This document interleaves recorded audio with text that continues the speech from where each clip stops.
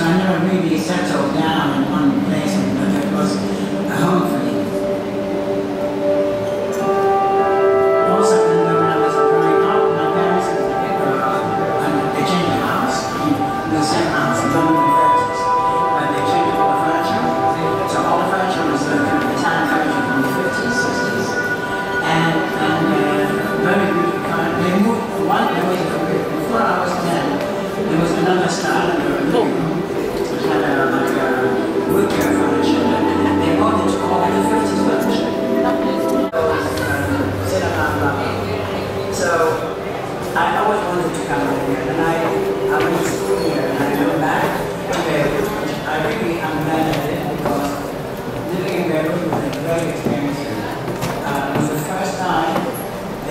in a country where you come across many other.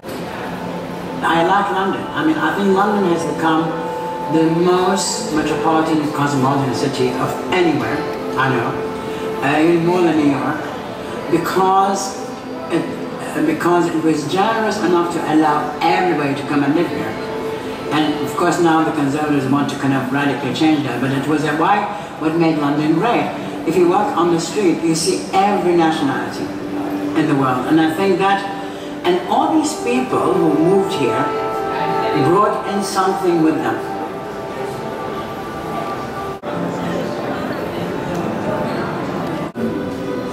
loft allowed you to make bedroom, no division between bedroom and living. Uh, you know, I think that it could mean uh, that you have different perspectives. You know, like you're not fixed into one viewpoint. That interior also. I mean, some of them may have multiple balconies, and you have different projections out, so you can look that way, you can look that way. I, I think, I hope it gives you more uh, fluidity and freedom in the space. You know, things flow to the outside, inside, uh, and uh, even and I think it's important to kind of create these kind of spaces. If you are confined for space, then it gives you these vistas to the outside and you feel it. Well, I think space is the most important. How to create space is very difficult to um, quantify. You know, people used to, when I was a student, people used to talk about space all the time. But I didn't, I, mean, I never understood what they're talking about. And um, I like obviously very big pieces because I want them to become another architecture inside the architecture. So